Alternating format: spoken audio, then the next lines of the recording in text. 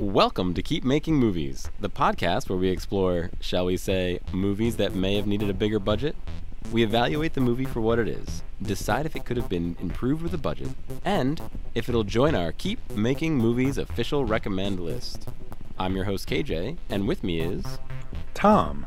Today we are discussing Andrzej Sekula's Cube 2 Hypercube. This is Sekula's second feature-length film, and Sekula has been the cinematographer on quite a few movies, including Pulp Fiction. Cube 2 is very similar to the first movie. We follow people who have woken up and are unaware of where they are, why they are here, and they are again in a maze of identical cubed rooms. The cast of characters this time include, but are not limited to, a generic woman, a blind woman, a woman suffering from Alzheimer's, a man with a knife, and Jerry, a friendly software engineer that would probably do okay on Jeopardy! They move from cube to cube while an unknown force is trying to kill them, and eventually they realize they're in a 4D maze, and our lead woman makes it out of the maze. In the last few minutes of the movie, it's revealed that she was sent into the maze to recover a device that the blind woman had hanging on her neck, and then she's shot. Dead. Fade to credits. So, Tom, That's what do you think the goals of the creators were with Cube 2?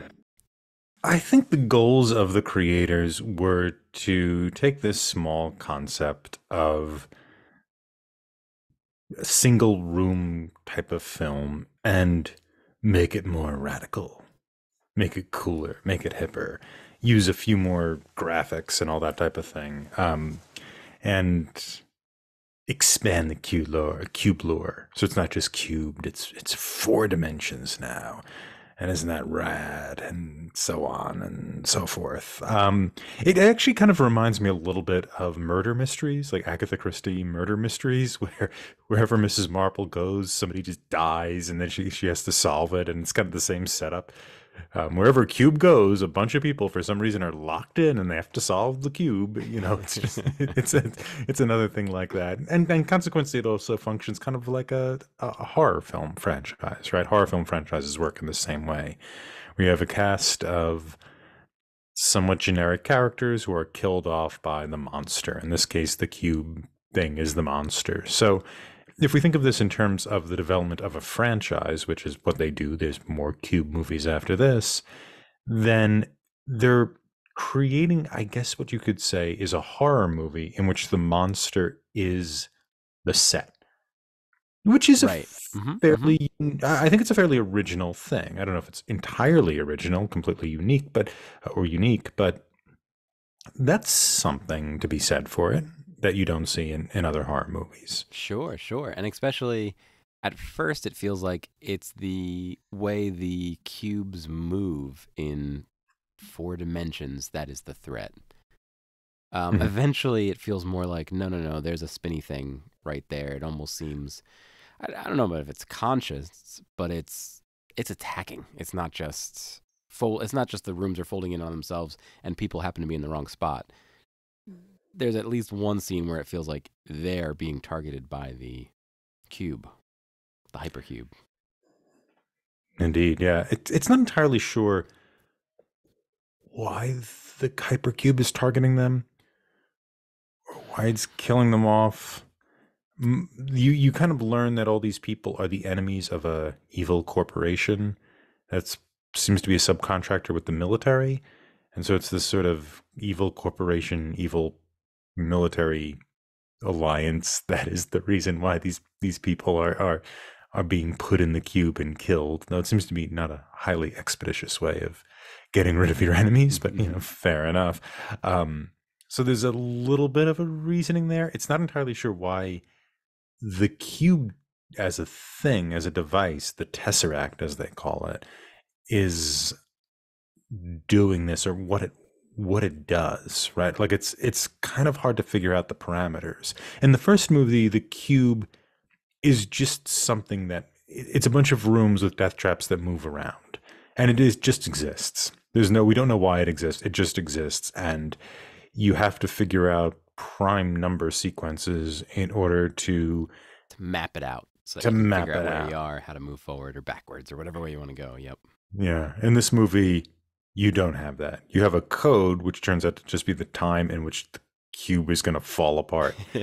and if you, at the time when the cube is about to fall apart, jump through a hole, which is pretty easy to see, you'll, you'll be okay. You'll unless somebody shoots you in the head. Yeah. right until you get out. Yep. So I think that's the go- that would be my my interpretation of the goals. The goals is the set is the is the monster in this horror film. What about you? Yeah, I know. I agree with that. Um, I also think they wanted to up the game a little bit. Um, one of the things I'm glad they didn't up the game with is the gore. Right, the first cube had the guy like uh, his face was like burned out. Um, there was somebody else who exploded. In this one, there is some blood. Like the one guy gets chopped up. Right, there is some gore, but it. I'm glad they didn't just be like, oh, now this is going to be the gory cube.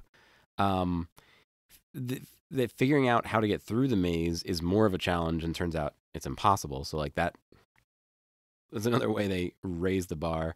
I think um, the touch to open doors was uh I, I imagine the actors from the last one were like, I'm so tired of opening these doors. I just don't want to do it anymore. So the solution might have been to have the the touch doors instead of um, Bad CGI touch doors. yes. Um, the gravity changing between rooms, right? That was kind of a cool effect. Um, I don't Doesn't know do it- anything though. right. It doesn't help the plot at all. It doesn't. It doesn't. It's not a threat. It's not. It's just one thing that Another- happens, and then they move on. Yeah. Yeah. Um, but it is. It's also fun. The way they shot that almost worked. You know what I mean? Like it gave you something else to look at while you were watching Mhm. Cube. Um, and then introducing the time travel piece, right? So they see themselves sometimes. Um, and I guess it's not just time travel; it's also multiverse. Mhm. So I think they wanted to take what Cube had and introduce some more elevated ideas. And here's some of the examples I think that they included. hmm Yeah, I would agree. I, the problems with those things is that the the multiple universe stuff does nothing as a particular threat unto itself. Right. Yeah, it would have been cool if they handed themselves something or hmm right. The, the coolest you get is when um, the guy with the knife. We see him again. He has gray hair, so it suggests he's been there a while. But he's also he has tons of um, the badges of the one person that he must have killed over and over and over again. He had a bunch of watches from another guy he must have killed over and over. So they kind of play with it there a little bit. Yeah.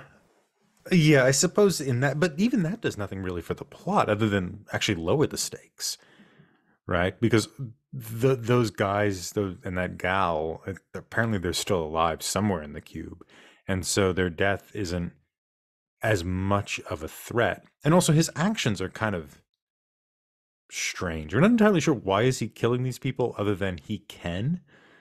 Uh, when he's threatening the old woman, he's trying to get information out of her. He thinks she's she's um, playing playing silly, that she's actually not um, suffering from Any Alzheimer's. kind of memory loss, right? Yep. Yeah, Um, that it's just she's so there's a reason why he's violent with her, but with the other people, he's just sort of violent because he he can be, he wants to be. This movie requires someone to be a bully because the first movie also had a bully, uh, so it it ends up becoming um, kind of not that interesting or not that threatening.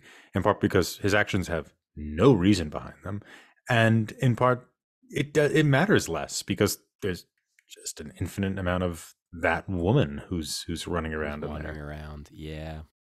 Um, and he also turns off his bullying when that's required for the plot, right? It's Yeah. also it he he amps it up when he gets frustrated or mad or we need tension, and he kind of turns it off when no no we got to work together for a few minutes here to get to the next room or figure out the next Yeah. beat. So You're not entirely sure why he goes crazy. And there's scenes too where like the blonde woman goes to run away from him and he just kind of stands there and doesn't chase after her but kind of yells. so you're not Get you're not entirely here. sure. Yeah, you're not entirely sure why he doesn't do that. I mean his his actions seem not to have any kind of weight on the overall plot. Um, unfortunately, very few people's actions seem to have weight on the overall on plot. the overall plot, yeah, yeah, and we're kind of talking about it, but how do you think they did with the money they had? well, they had more money than the first one. We don't exactly know how much more, but they had more money than the first one, and I think they did less well with it than the first one. They substituted visual things that were visually I wouldn't say the first cube is visually interesting, but it's more visually interesting than this. And they try to make it more visually interesting by adding CGI, a rotating shape that kills people, um, crystal things that come out of the Kinda slice up the room a little bit. Slice up the up the room. I don't know. Yeah. or kind of burn the bodies or something. It's Like I- I'm not entirely. yeah. Yeah, it's it's a little unclear as to how this thing hurts people. And then there's the CGI ending, which is a marvel of animation. Well, even the opening credits had CG. Mhm. Um, so the first movie was 1997. So I imagine any CG in there was probably pretty expensive, right? Windows 98 isn't out yet. They're whatever they're working with is some pretty old computers. Mhm. Whereas this is 2003. So Windows XP is out. We're we're way further. Like that that was a big jump in at least consumer electronics. Um, and in the opening credits, they are drawing the cubes at what looks like on like a blueprint style format, and then we get a fade from those drawn plans into the actual filmed white room. And it all lines up, which suggests they've created that white room in CG as well. So they could use the actual room or they could use the CG counterpart for when they needed it. I imagine a lot of the special effects, like the walls coming out and stuff, were Hmm. easier to blend because they had the CG. The, the whole set was also in CG and in um in practical in in the in real life. Mhm. Okay, so they can merge the practical and the And the right. computer graphics much easier. Okay. but I think that hurt it. I think that hurt it a lot, like you're saying. Um, I, the doors, they just The doors open. Uh, the doors are CGI audience, so when you just kind of hold your hand in front of them, um, like you're going in and out of a supermarket or something, and they open up, but they look really bad. yeah, and and that threatening force, whenever it showed up, you just it it took me out of the movie because you knew it it wasn't you knew it wasn't there. It just it was it's a little bit ambiguous as to what it is or what it does. I mean, it seems to smush people or rip body parts off of them. Or something. I, I mean, and it, we're not entirely sure what it is either. Is it the universe changing? collapsing that in 4D this happens sometimes and since we're 3D we get smushed by it right you fold paper and there's an ant on there whoops I don't know Yeah, there's no real and consequence, and you don't know when it's coming either. right every so often the blind woman will be like I think it's coming to like try to Mhm. build some tension but And she's sometimes wrong. Sometimes it doesn't happen. Um, but one thing I thought they did really well is every time they entered a new room, how it was shot made me want to see what was in the new room.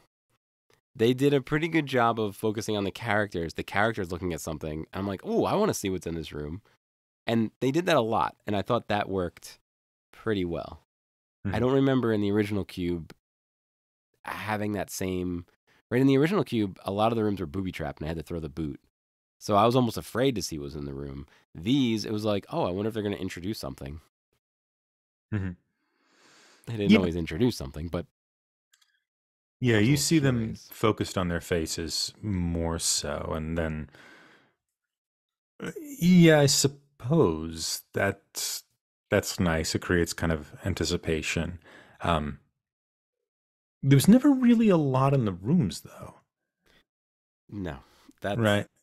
yes. And then the nice thing about having not having an invisible threat, but you know possibly a room could be booby trapped or possibly not, is that you that it really heightens the the tension there.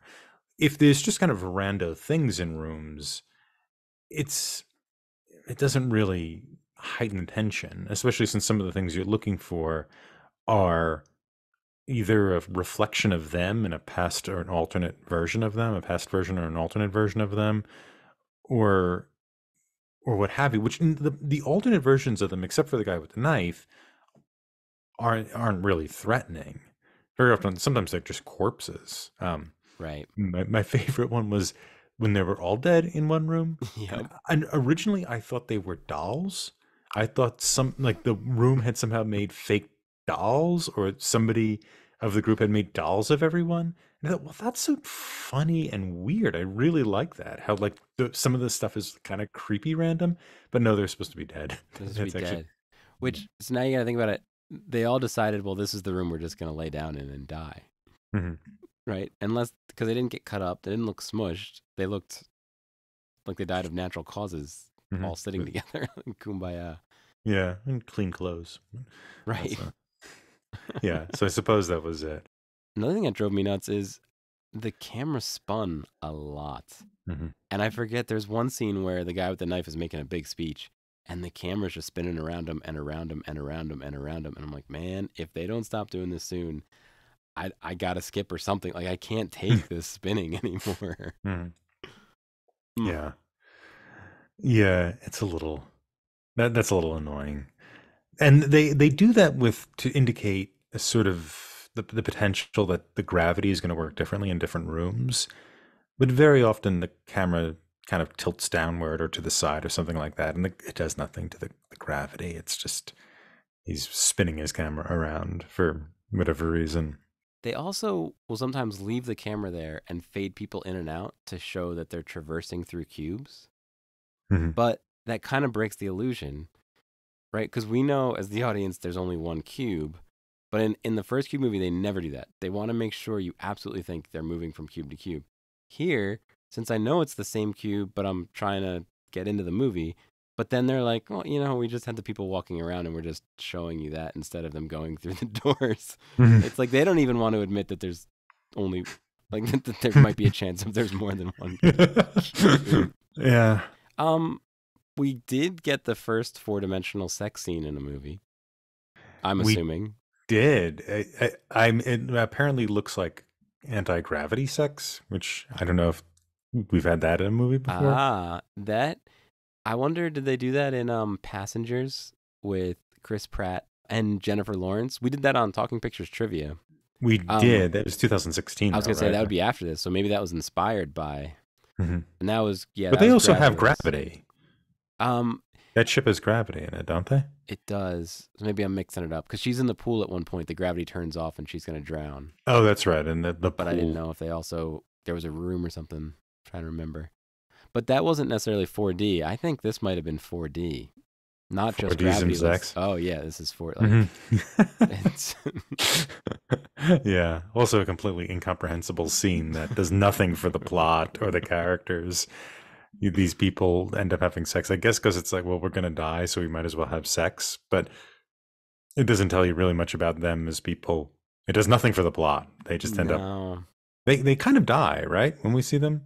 Well, we see another, like I don't know if it was in the same corpse room, but in another corpse room, we see them intertwined like Pompeii or something, still spinning around. hmm Yep. Yeah. Um, I don't know if that's how they went. Maybe we just weren't made for 4D intercourse. Um, well, they did build it up a little bit. Um, the guy's name was Max, and as soon as he saw the girl in the red dress, he was like, "Oh, the ratings of this show just went up." hmm So like that kind of showed, but her nothing, and then all of a sudden it was like, "Let's do it." And it doesn't matter. That's also the thing. It doesn't. The fact that he's a little, that she's like the sexy woman in this, and he's kind of into her. The fact that that ends up in a, a sexual act doesn't. It doesn't do anything for the plot. It doesn't tell us really much about these characters. It's a way of, I imagine, getting what he must have thought of as a cool shot having these people floating around and the red dress kind of coming undone and wrapping around them and you know all this crap and um so, sorry but but I, I think that's what he was going for this kind of aesthetic look which is supposed to be what i think is the best thing in horror movies which is beautiful nightmare right something beautiful that is also an indication of of a horror right what you might call the sublime um but in order to do that, either you have to connect it to the plot in some way, right? It, it advances the plot. Um, it's not just a random visual, but it, it's connected to the plot, or it collides with the visual aesthetic up to that point, therefore creating discomfort. David Lynch does this all the time, where you'll see something that is just inexplicable in the midst of of this chaos, and that builds the tension. In this, we have a physical explanation of the sex. We have no characterological explanation, and the visual isn't that intriguing, mostly because we know we get an explanation of it, and then it doesn't do anything in the plot. It doesn't raise the stakes. It doesn't lower the stakes. Apparently, they die doing this somehow. That's never explained, other than hand waving quantum physics, which it's fine to hand wave in science fiction or in, in speculative fiction in order to establish rules that we can then follow to do something. If your hand waving is anything can happen, it's up. I guess time works differently here. So now they're dead. Then all it does is suck out the energy from a movie. There's not waiting for anything because anything can happen because time is different here. And so it just becomes kind of dull. It becomes a very dull experience. Well, as I say, I think this is the first 4D sex scene, so maybe in the future somebody will take, you know, take the torch and keep running. Right? Like keep we're, going. Yeah. We're, we're, criticizing it pretty harshly, but it's the first one, maybe. Yeah, that's true. that's true. You know, another thing I was thinking because there's no color in the cube, it's all white. Editing this must have been a nightmare, right? You better have kept that footage very well organized and very well labeled. Because otherwise, if you had to go find a shot that you kind of remember happened, it all's going to look the same. You're going to have to watch all the footage again, right? The movie must have had impressive paperwork. We can say that about this film. Documentation behind documentation yes. behind Cube Two. I would love to see that actually. Must be Excelsior. Yeah. I, seriously, to keep it all straight, like. Yeah, and especially since most of the things they do are not consequential. They could almost happen in any order. They could almost 4D. It's a hyper like yeah. I mean, you need to introduce the characters first. So you need this stuff in the beginning where the the happy engineer explains things, and you need them to introduce Alex. What's the last name? They, there's a, a, a secret conspiracy super genius oh, guy. Oh, yeah. Who m- one character thinks might be responsible for the hypercube. Alex something or other. Alex Travers or something like that um, you need to introduce that in the beginning as a potential explanation because that gun is later fired. And we could talk about that and how, uninspired that was uh, if we want. So Alex ends up being the the blind, the blind woman. girl, Sasha. Yep. Yeah, Sasha. So Alexandria, I suppose, is her first is, is her first name, and she uh, she's apparently designed part of the cube can we work through this plot?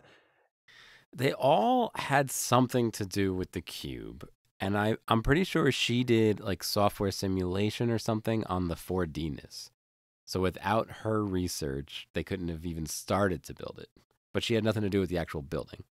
Yeah, she she didn't want it, but they were going after her because she had something, something around her neck, right? Uh, either a USB stick, some data, something like that.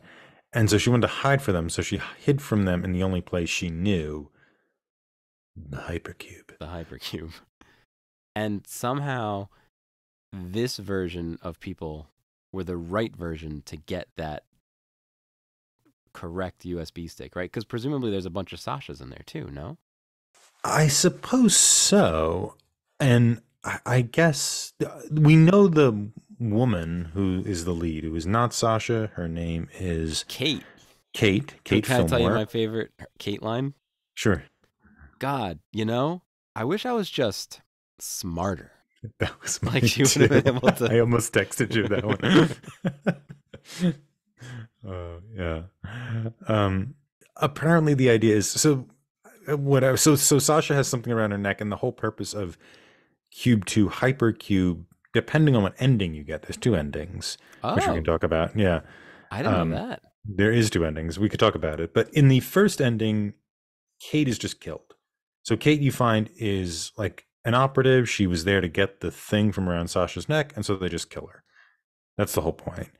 In the other version, Kate comes back and they explain more. They still shoot her in the head for some reason, but we learn that Kate is the most successful operative that's ever gone in there.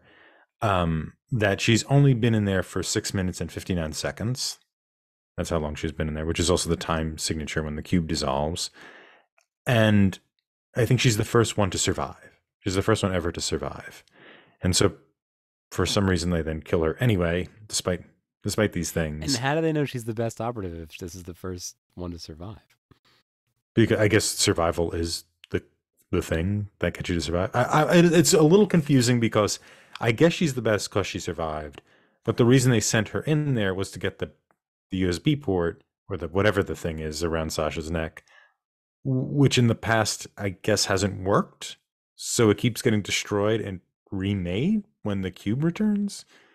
It, it the the pieces don't exactly line up, but there are two endings because huh. there's an so infinity. I watched the one with all that explanation. Oh, really? Okay. Yeah. yeah okay. The, the, Prime Video one that I I don't know if they're both on there, but the one I clicked on, um, in the end said, "Yep, you were in there for six minutes." Blah blah blah blah blah, and then. Poof. Oh, the other one they just shoot her. Hmm. They just yeah. Well, what do you think, Tom? Do you think a budget would have helped this movie?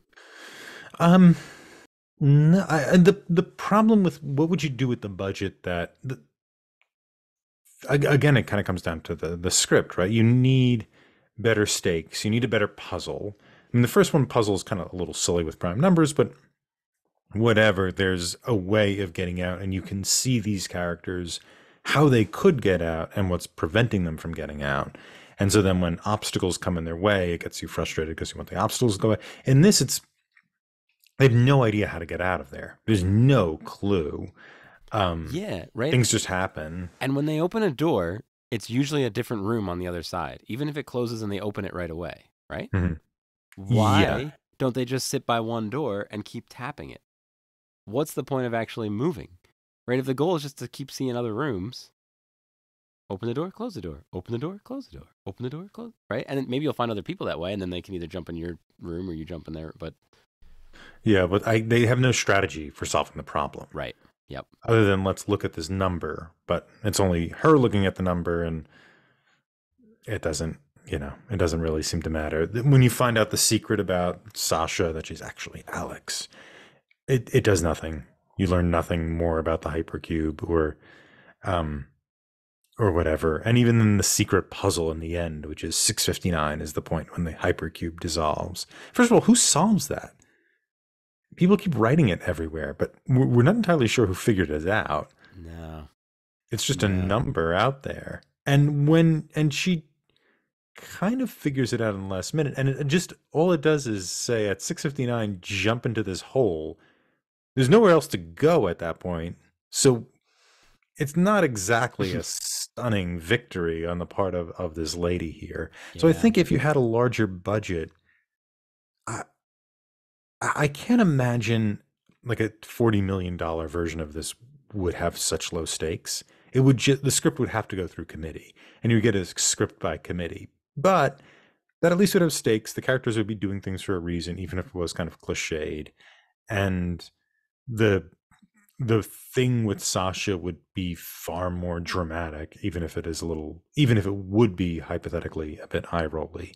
So I think a, probably a budget would have helped. I think you Yeah. would have forced a better script. I agree. Um, and I imagine even in the script they had, they might have had more things they wanted to do that got cut. Um, I, this is 2003, so this is post Lord of the Rings. I also think if they're going to use that much CG, I think a bigger budget going into either more graphic designers that would have had more time to uh, build this or visualize the hypercube collapsing better, visualize um, some of the rooms smushing the people better. Um, I think that would have helped. And again, I, I imagine there was stuff they wanted to film that couldn't make it that would have Mhm. really helped the the film. Help the experience. Yeah. Yeah. I, I th- think maybe making it look better would have. Because that, that's kind of what it had going for it. Was the CGI? It was the visuals, hmm right? Yeah. We're saying sure. there were there weren't there wasn't a lot of tension in the puzzle solving. There wasn't a lot of tension in the character development. So it really was an aesthetic movie, is what is kind of why you're here. Mhm. But what do you think, Tom? Does it make the official recommend list? Well, if we're looking at the type of movie that goes onto this list, it's the type of movie that we can tend to find on this list. I don't think it's particularly good. Um, and I think the budget, if it is over a million dollars, hmm, I don't know. Um, I'm going to say no. How about that? No from Tom. It's a no from me. I think if you watch Cube, you don't need this one. I don't think it does anything that Cube didn't already do. So if Cube's on the list, if Cube's on the list and then you want to see the sequel, by all means, go check out Cube 2. But I don't think we need it on the list because Cube is already there. Yeah. And the spinny camera work is so brutal. I don't know if I could recommend Mhm. somebody having to sit through that. Yeah. From the cinematographer of Pulp Fiction. Yeah. I I guess maybe he wanted to do a lot more with Pulp Fiction. Or was there a lot of spinny cameras in Pulp Fiction? I'm trying to remember. Um, there is some stylized camera work. You could think of the cab ride that Bruce Willis's character takes. It's kind of a stylized thing, but I don't remember any particularly spinny camera stuff or camera like upside down camera angles that indicate we're in zero gravity when we're not. Um, yeah, so Well, it's official. Cube 2 Hypercube has not made the list. Hopefully, we'll watch some more of Sekula's movies, and mm, hopefully, Sekula keeps making movies, and maybe another entry will make it on the list. What's your favorite movie by Mr. Sekula? You can rate and review this show anywhere fine podcasts are available.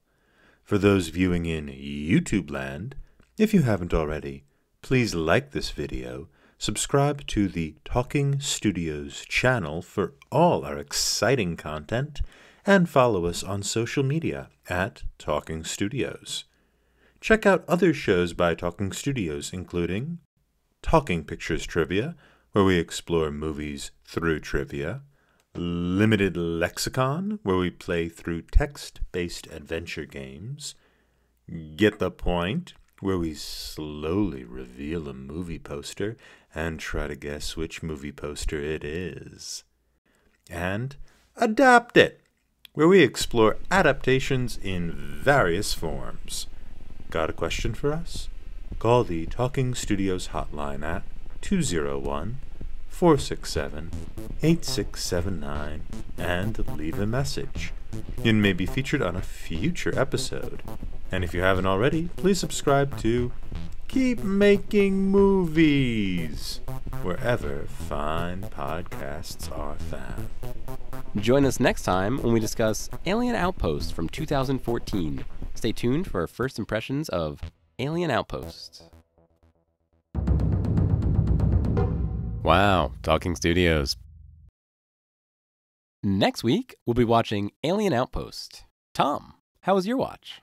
my watch occurred in my kitchen i guess i I- it was um it's kind of a rough movie to get through i would say i think the director is the guy who took over avatar the last airbender television show on netflix Oh, I the new think one. so. The new one, yes. I think so.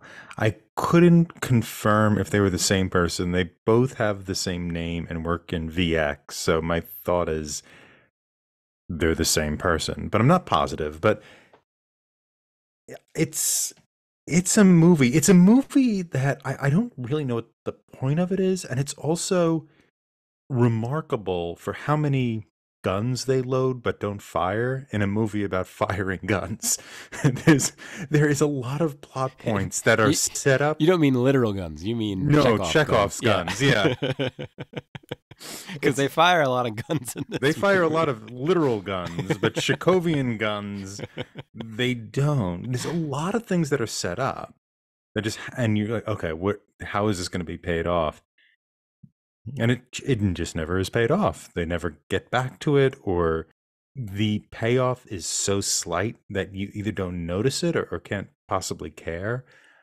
And I'm not entirely sure what the I mean, a movie doesn't have to have a point, but I'm not entirely sure with a movie like this if it's doesn't have a point or it's point is muddied because it's pretty obviously linked to the Iraq War in some way. Well, we, we can get into it next week if you Yeah, want. but anyway, I guess I don't have to go into any de- depth now. But we we can talk about that. How about you? How was your first first watch? What was your first impression? So my first watch was eight years ago, um, and I, I I didn't realize it was that long ago. And what I remembered from the movie compared to this watch was a little bit different. Um, I forgot how broy it was. Audience, this is a very broy movie. My gosh, um, it's in a military setting, so I guess that's kind of makes sense. It's also pretty anti-Islamic for no apparent reason, unless, like you're saying, maybe it's got something to do with the Iraq War. Um, so, audience, I don't know. I would check the trailer out before diving right in. Maybe just make sure it's it's all right with uh, spending an hour and a half or whatever is a long time to be, you know, shooting stuff, bro. Like it's it's pretty broy. Um, Alien Outpost is available on AMC Plus at the time of this recording. I've never uh, I've never hit play on AMC Plus. I did not know that was a, a thing, and I don't know why this is on there. Great, I'm glad.